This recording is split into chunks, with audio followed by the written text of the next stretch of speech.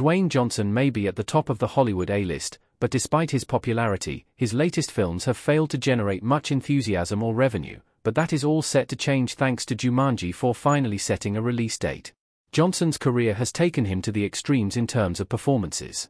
Initially, he started out as a professional wrestler, where he grew his audience and became a popular athlete. However, his first foray into film, with his silent role as the monster in The Mummy Returns was less than spectacular.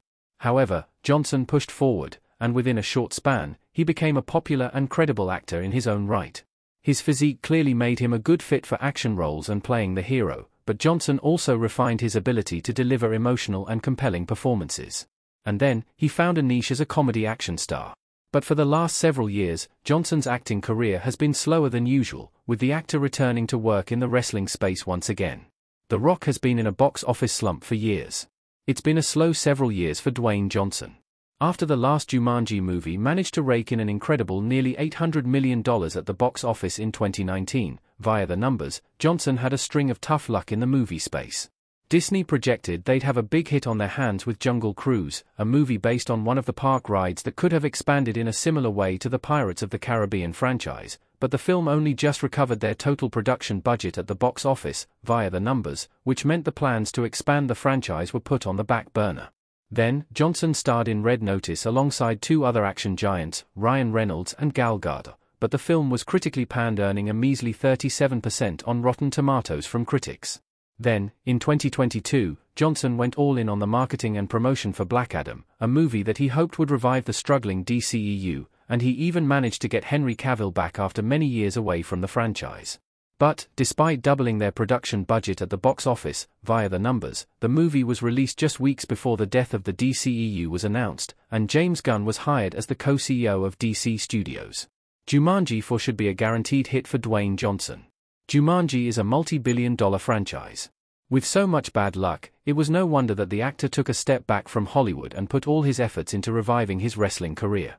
However, with the announcement of Jumanji 4 set to release in 2026, it's as close as possible to a guaranteed hit for the star. The first movie is a beloved classic from 1995, which was later revived in 2017 with Jumanji, Welcome to the Jungle.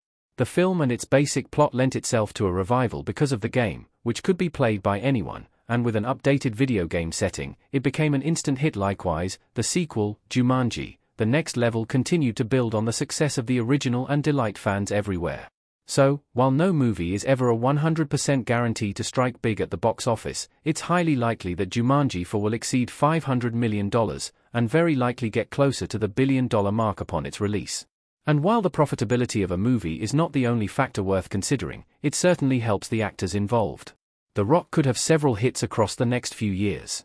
Dwayne Johnson has some huge hits coming. As of November 2024, Dwayne Johnson is currently tied to 13 separate projects set to be released in the next few years, via IMDb. His last leading role in a film was back in 2022, with Black Adam, but now, after a brief hiatus, the actor is set to appear in Moana 2 and Red 1 in late 2024. In addition to a live-action version of Moana, where he will again reprise his role as Maui and which is set to release in 2026. In 2025, he will star in the biopic, The Smashing Pumpkin, which could garner the star some critical acclaim. Then the graft continues into 2026, with Jumanji 4, the live-action Moana, and Fast X, Part 2 being just a few of the other upcoming titles on his slate.